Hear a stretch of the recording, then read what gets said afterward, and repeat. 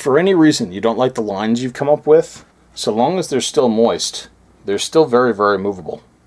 So don't be afraid to move these guys all over the place and play with them. They will constantly stick to the glass. Keep going until you're satisfied.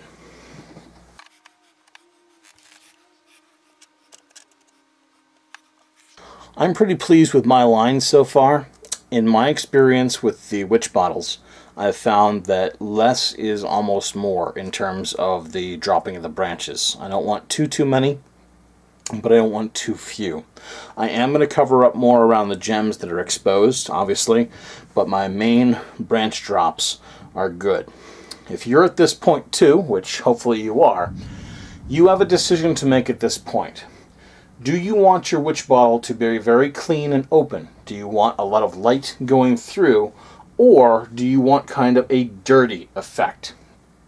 Do you want this thing to look swampy with lots of dark brown dirty looking filaments between you and the light? I personally want my bottle to look a little bit dirty. So it's at this stage where you're going to want to grab yourself a bunch more filaments. Filaments again are the wispy, shreddy cotton bits. I want them to look almost like some sort of vile hanging moss.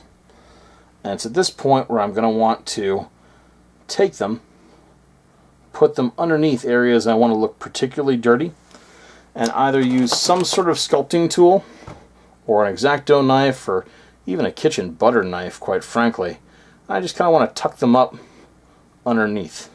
I want those filaments to drape down.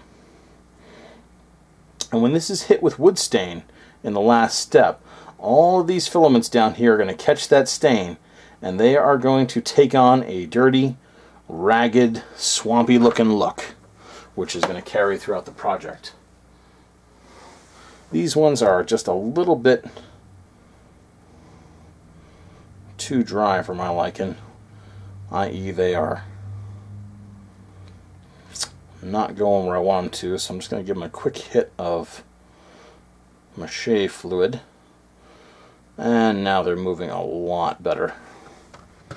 And I'm going to keep doing that for anywhere where I want this dirty looking drapery around my project.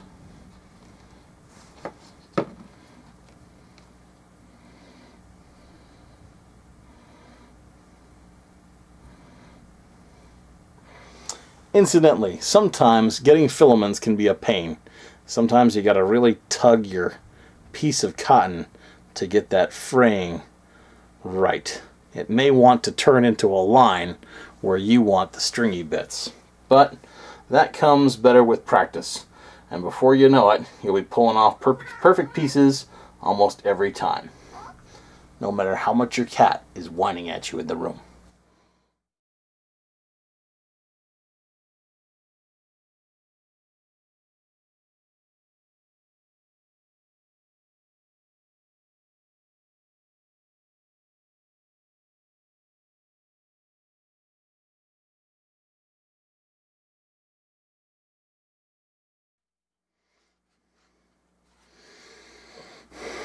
Okay, what I've done is I've just added all these dirty little sections of gookity filaments in strategic sections around the jar, or bottle I should say.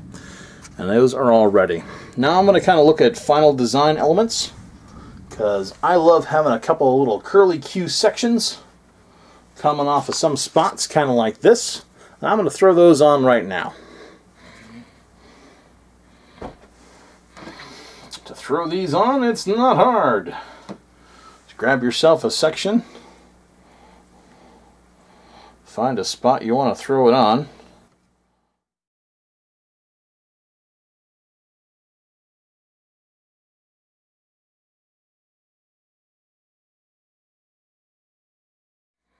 If you got a piece that's kind of in the right shape to be one of those but isn't, just give it a twist.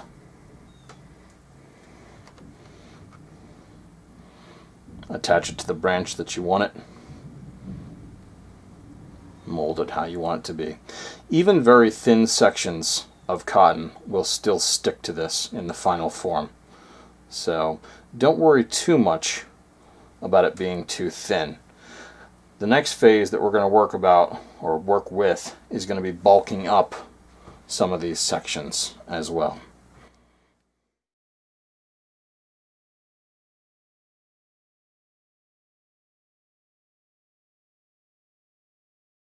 Okay. I'm all set with any of the detail I want to do. Now all I want to do now is I want to add some extra branching around these gems. And there's a few sections that I want to make these branches just thicker and bigger. And really, nothing could be simpler.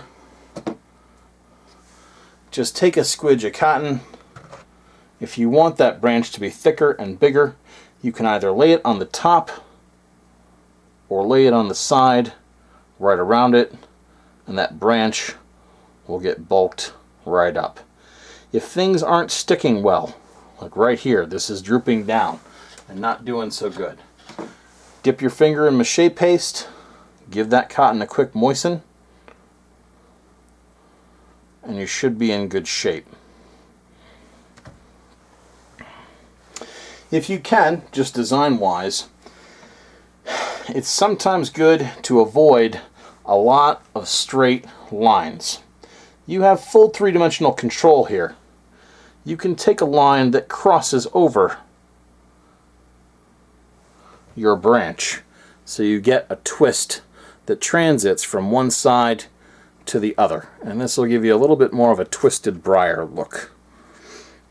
But it's all up to you. Go ahead and enjoy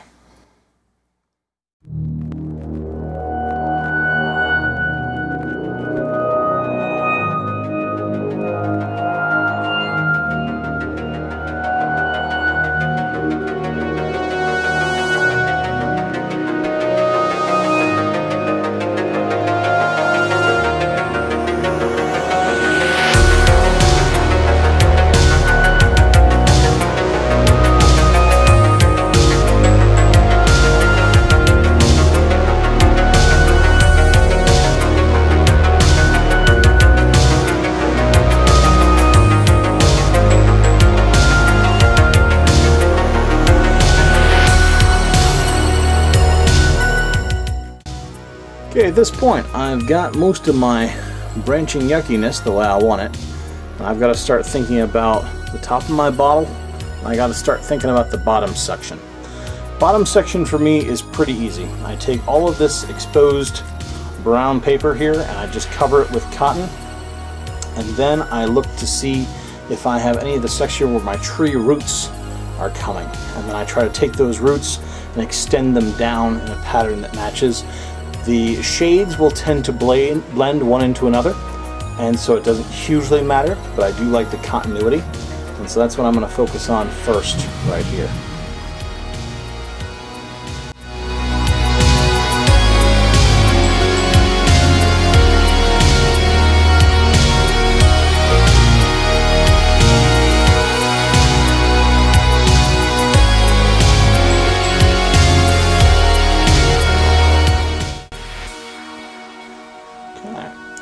My bottom is mostly covered with cotton. And now I'm just going to find the root sections. Like right here is one where it meets up with the bottom. And I'm going to extend some stuff down.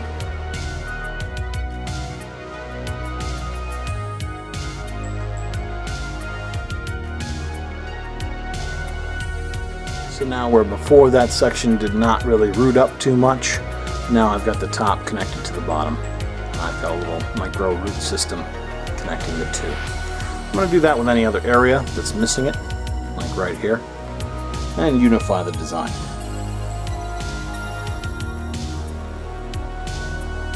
Sometimes your cotton gets to a point where all you have left are a lot of stringy pieces and they're not what you want.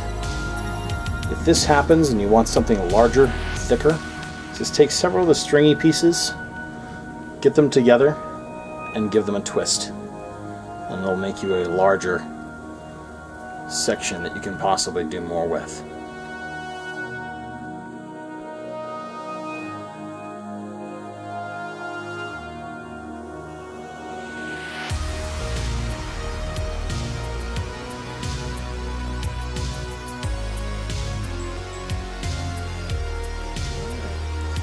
There's our bottom all set. Our main branches are set. Now we gotta look at the neck a little bit. And here you've got some options. You can leave it just kind of gloopy around the top. You can attach all manner of branch patterns. And I'm going to extend a few branches going up the neck a little bit towards the cork. The other trick you need to worry about with the witch bottle though is if you are working on this project all at once like I am here and not giving it a ton of drying time, you are slowly running out of places to grab this thing safely. And so consequently, I can no longer grab the bottom and start turning the bottle, and my area for grabbing it is around the top. But as I start working branches up, even the top starts becoming an area where I can't grab it so well and start doing things with it. So be cautious and be willing to say, we're done for the day, give this an overnight to dry, come back to it. All this cotton is going to be hard as a rock, just like paper clay and the paper mache pumpkin, and then start working with it then. So feel free to take a break if you feel you need to, to have a spot to grip it. I'm going to do just a little bit more work with the neck of this bottle.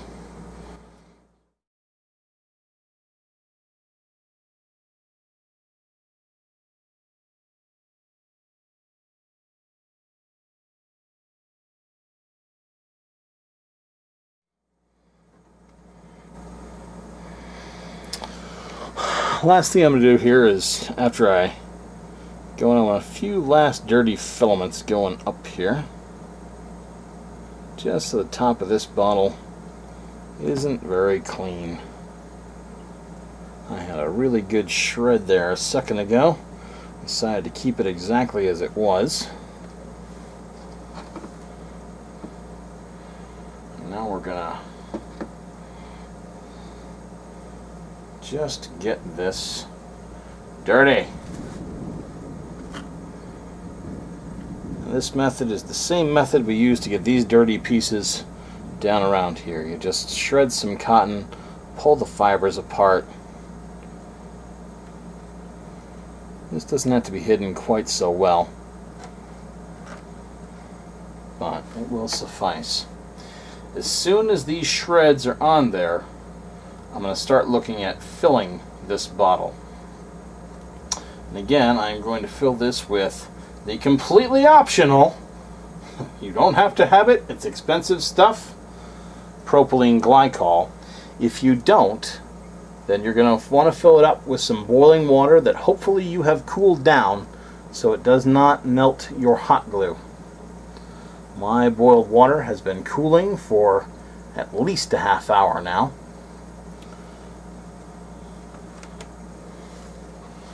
We're going to get that going.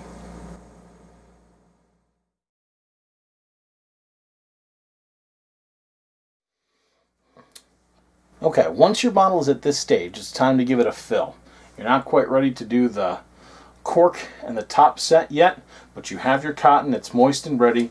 Your water's been boiled ahead of time.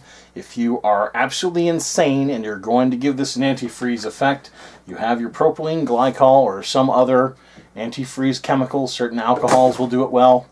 You have a cat bouncing around in the supplies behind you and you're worried that something is about to get knocked over. A ball.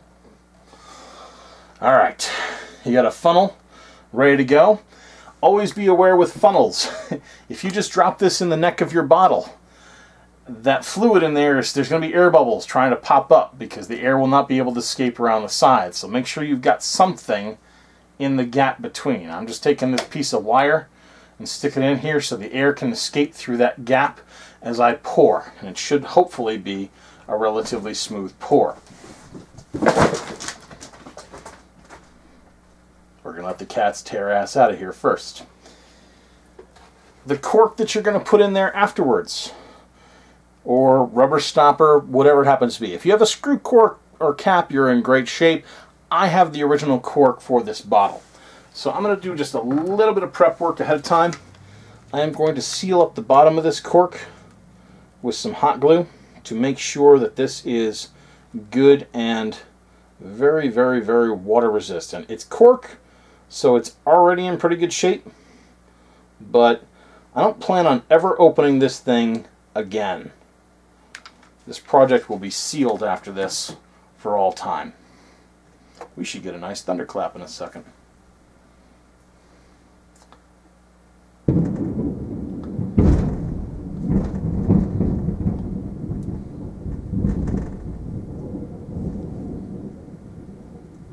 Video drama. okay. If you have no antifreeze, great. If you do have antifreeze, I'm sorry you spend a lot of money and you're as much of a Halloween nut as me. I'm going to use about 50% propylene glycol because when I looked it up online, they said that would take me to about minus 55. and I don't think I'm ever going to get that cold around here, but The remainder of my mixture is going to be water that I have boiled to make sure that it is, hopefully, bacteria free.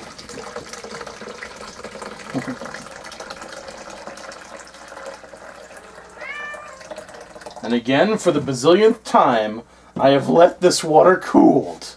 I do not want this stuff melting the hot glue that I have already put in here some splashes out on the project, you should be fine.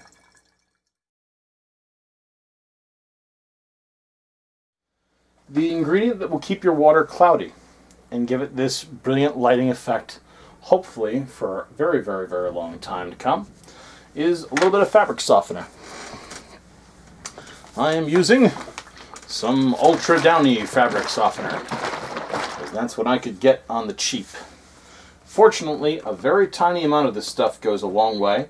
It will stay suspended in the fluid, so it will not sink to the bottom, requiring you to have to shake up your container a million times in a row on Halloween night. I have put the Downy fabric softener into all these bottles at various times over the last several weeks, and they have never, ever cleared. So this stuff stays in suspension.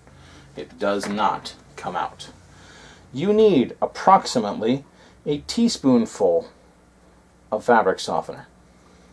A little goes a long way. You don't need a lot.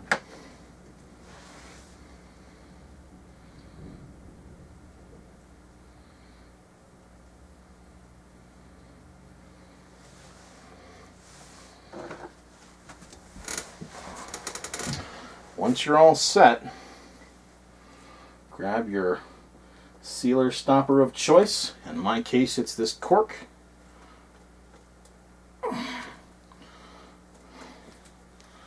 Get it sealed again. Now, sadly, my project is still kind of wet, so I do not want to do a super heavy mix-up, but I can actually grab it by the bottom and top and run it through a series of inversions.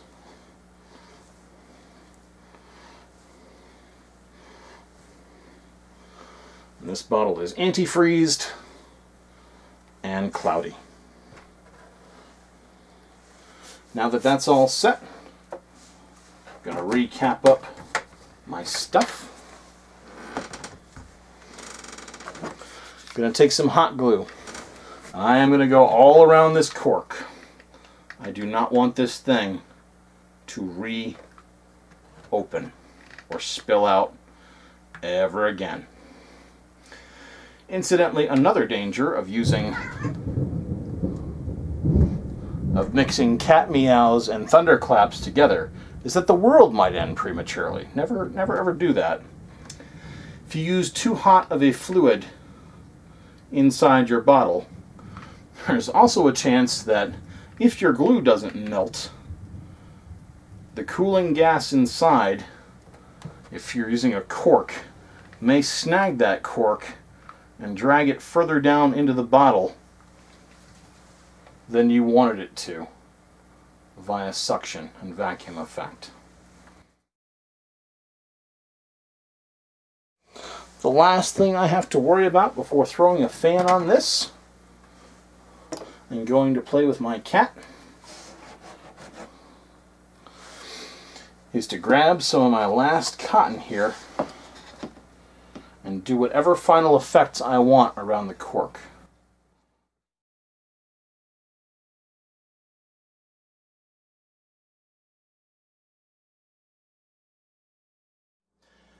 That is the tough work all done. Now at this point, throw a fan on the project, give it 24 hours, let the thunder rumble.